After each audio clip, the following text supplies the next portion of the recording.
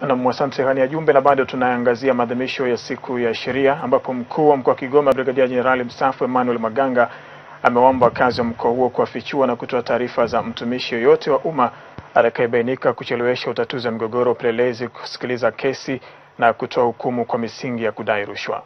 Maganga ametoa wito huo wakati wa kuadhimisha siku ya sheria nchini ambapo amesema serikali imedhamiria kukuza uchumi wa nchi kupitia uzalishaji wa bidhaa za aina mbalimbali kwa kuongeza thamani, kilimo, uwekezaji, ujenzi wa viwanda na miundombinu ya kiuchumi kwa kuzingatia haki. Hivyo mtumishi yeyote atakayekuwa kinyume na hayo, sheria itachukua mkondo wake.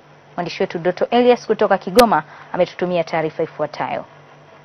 Mkoani Kigoma, maadhimisho ya siku ya sheria nchini ngazi ya mkoa yamefanyika katika viwanja vya mahakama ya mkoa wa Kigoma na kutanguliwa na dua zilizosomwa na viongozi wa madhehebu mbalimbali ya dini. Hotuba kutoka kwa mawakili wa kujitegemea na ile ya mwanasheria mkuu wa serikali zinasema kuwa ili kuongeza kasi ya ukuaji wa uchumi panahitaji utoaji hukumu wa mashauri mbalimbali haraka iwezekanavyo na kwa kuzingatia haki bila kujali uwezo wa mtu kiuchumi. Mawakili tusiwe niseme ving'ang'anizi, napobidi wateja wateja wetu tuwashauri ukweli kwamba bwana, kama hapo umeshindwa, basi mwachie Mungu, sio kung'ang'ania ng'ang'ania. Shauri moja nachukua miaka ishirini. Pia faida ya utendaji haki kwa wakati ni ile ya kuondolea wadau usumbufu na gharama za kuhudhuria mahakamani mara, mara, mara kwa mara kwa muda mrefu. Pia haki ikitendwa kwa wakati, basi watapata muda wa kushughulikia shughuli zao binafsi za kijamii na maendeleo ya nchi yetu kiuchumi, kibiashara na kwenye uwekezaji.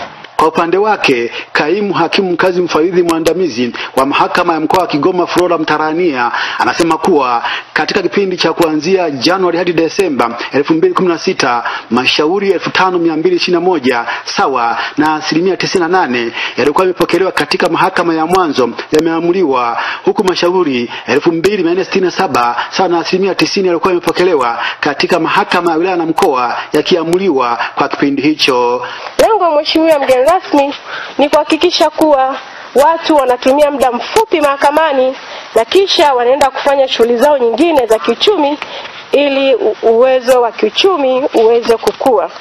Mkuu wa mkoa wa Kigoma Brigedia Jenerali mstaafu Emmanuel Maganga anasema nini kwa yule atakayekinzana na kasi hiyo? Mwananchi akionewa, usifikiri hajui kuwa ameonewa. Tuwachunguze hao watendaji pale ambapo tutaona kwamba ucheleweshaji huu unafanyika kwa makusudi, basi tuchukue hatua. Kama kuna madai ya rushwa, kuna madai ya uonevu, basi atafutieni ushahidi, na kama mnaona mkiyapeleka kwenye ngazi za mahakama, kwa maana ya watendaji, hazitapata ufumbuzi, zileteni kwangu. Kutoka Kigoma, mimi ni Doto Elias wa TBC.